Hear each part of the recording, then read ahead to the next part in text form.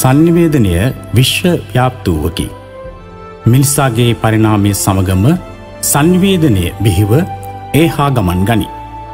මුල් මිනිසා ශබ්දහා රූප සංඥා සංකේතාදිය නිපදවාගත්. එමගින් සතුට දොම්නස වීරත්වය යනාදී මූලික සංවේදන ස්වභාව ප්‍රකට කෙරුණි. අතීත මිනිසා මූලික වශයෙන් සංනිවේදනය පිණිස භාවිත කර ලද්දේ කායික උපක්‍රමයන්නේ. ඉන් කළ හැකි වූයේ සීමා සහිත වූ සංනිවේදනයකි. වනාන්තරයේ සතුන් ලුහුබැද යාභය අවස්ථාවන් මතකයේ තබාගත් මිනිසා ආපසු තම ජනයා සිටින ගුහා වෙත පැමිණ එම සිද්ධිය රඟදක්වන්නට සමත්විය. එසේම තමන් තුළ ඇති මතකය ස්මරණය කරමින් වනාන්තරයේ තමන්දුටු සත්තරූපාදිය තමන් ජීවත්වන ගුහාවල බිත්තිවල සටහන් කරන්නට සමත් වූහ. පසුකාලයකදී ගින්දර දුම් හා ශබ්දාදී සංඥාමය නිර්වාචික උපක්‍රම හඳුනා ගැනීමෙන් කාලය හා දුර ජයගැනීමේ උපායමාර්ග වැඩි දියුණු විය. ප්‍රාග් ඓතිහාසික යුගයේ මානවයා වනාන්තරයේ ජීවත් වී ඇත්තේ රංචු වසේරි. එනිසා එකිනෙකා අතර හැඟීම් අදහස් සහ අත්දැකීම් හෝමාරු කර ගැනීම ආරම්භ වී ඇත. මේ මුල්යුගයේදී මුයින් නිකුත්වන හඬද ශරීරාංග චලනය කිරීමෙන් සකසාගත් ඉරියව් හා ඉංගිද සංවේදනය සඳහා යොදාගෙන ඇත.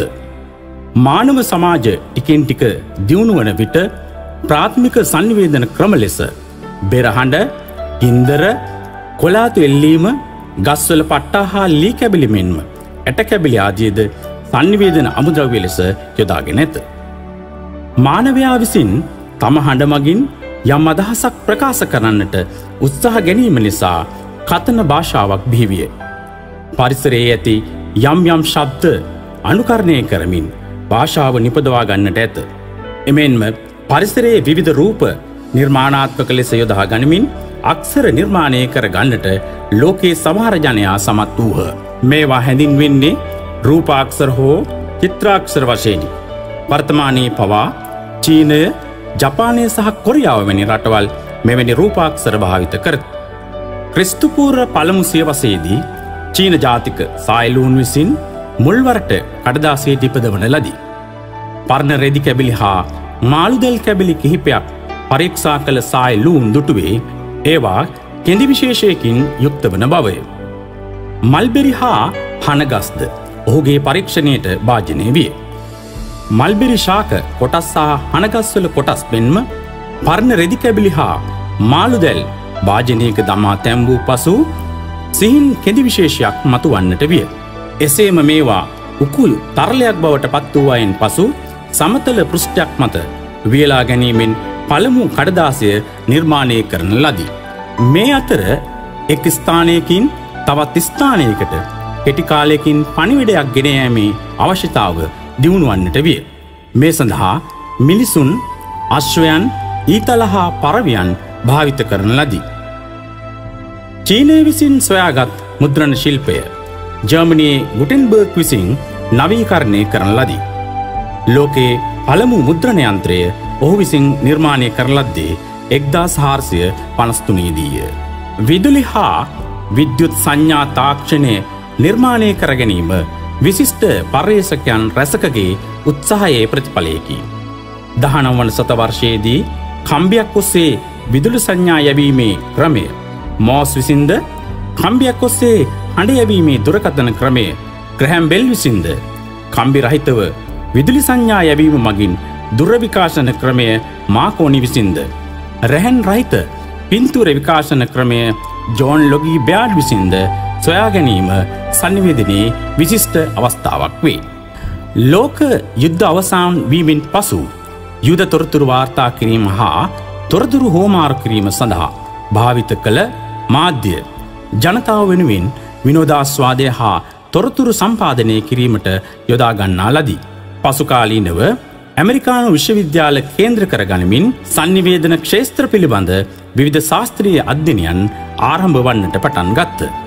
හැරල්ඩි ලැස්වෙල්, කර්ට් ලෙවින්, පෝල් ලැසස් ෆෙල්ඩ්, කාල් හවුලන්, විල්බර්ස් රාම්, ජෝජ් කබ්න කලෝඩ් ෂැනන් හා ඕරෙන් වීව යන විද්‍යතුන් විසින්. සන්නිවේදන අධ්‍යනෙහි ශාස්ත්‍රීය සංවර්ධනයට මෙන්ම විශ්වවිද්‍යාල මට්ටමට ශාස්ත්‍රීය විෂයක් ලෙස සන්නිවේදනය ගෙනෙන්නට කටයුතු කරන ලදී. සන්නිවේදනය විෂයක් ලෙස ප්‍රචලිත කරන්නට පුරෝගාමීව කටයුතු කරන ලද්දේ මහාචාරය විල්බර්ස්රාම් මහතාය. ඒ අනුව ඇමරිකාවේ ඉලිනොයිස් විශ්වවිද්‍යාලයේදී ශාස්ත්‍රීය විෂයක් ලෙස සන්නිවේදනය ඉගැන්වීම ආරම්භ කරන ලදී. එක්දස් නවසේ හැට අටේදී ශ්‍රී ලංකාවේ එවක අධ්‍යාපන අමාත්‍යය අයි මාරයේ ඊරියගොල්ල මැතිතුමාගේ මූලිකත්වයෙන් මෙරට තුළද සංනිවේදනය විෂයක් ලෙස අධ්‍යනයට අවස්ථාවදාවිය. මේදේ ආචාරය එඩ්වින් ආරයදාස මහාචාරය සුනන්ද මහේන්ද්‍ර මහාචාරය එම්බිආරය පාල මහාචාරය එදිරිවීර සරච්චන්ද්‍ර මහාචාරය විමල් දිසානායක වැනි සංනිවේදන විද්‍යතුන්ගේ උපදේශකත්වයෙන් පාටමාලා කිහිපයක්ම ආරම්භ කරන ලදී. ලෝකයේ ජනමාධ්‍ය බිහිවීමත් සමඟ එකී ජනමාධ්‍ය මගින් සමාජයට අති විශාල බලපෑමක් සිදු කිරීම හේතුවෙන් ජනමාධ්‍යයේ අසීමාන්තික සමාජ බලපෑම් හසුකර ගැනීම සඳහා කිසියම් විදික්‍රමයක අවශ්‍යතාවේ ටිකින් ටික පැනනැගෙන්න්නට විය. මාධ්‍ය ප්‍රකාශනයක යථාරූපී පණිවිඩය නිවැරදිව ග්‍රහණය කර ගැනීම සඳහා මාධ්‍ය සාක්සර්තාව සමාජයට අවශ්‍ය විය. මේ හේතුකොටගෙන යුනිස්කෝ සංවිධානය එක්දස් නවස අසූ දෙකේදී පල කළ ග්‍රෝන්වල් ප්‍රකාශනයට අනුව ප්‍රාථමික ශ්‍රේණයේ සිට විශ්වවිද්‍යාල මට්ටම දක්වා පාසල් තුළ සන්නිවේදනය හා මාධ්‍යධ්‍යනය විෂය ඉගැන්වීම අනුමත කරන ලදී. ඒ අනුව දෙදා සයවසරේදී දහය ශ්‍රේණය සිට ශ්‍රී ලංකාවේ පාසල්වල සන්නිවේදනය හා මාධ්‍යධ්‍යන විෂය පාසල්වල ඉගැනීම ආරම්භ කරන ලදී. ප්‍රශස්ත සන්නිවේදන හා මාධ්‍ය නිපුණතා සහිත වූද සහජීවනයෙන් යුතුව ජීවත්වීමට හුරුපුරුදු වූද. පවත්නා සන්නිවේදන හා මාධ්‍ය සංස්කෘතිය විනිවිධ දකිමින්.